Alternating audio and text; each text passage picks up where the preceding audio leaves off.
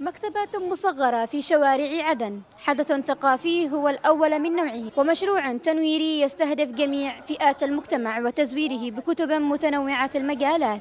المستهدفة هي جميع أفراد المجتمع لأن القراءة ما تحصرش على فئة معينة. ويأتي هذا المشروع بسبب تدهور الوعي وانخفاض نسبة القراء وغياب إدراك أهمية القراءة. أزمة أزمة أخلاق أزمة قيم أزمة آه، آه، في كل نواحي المجتمع.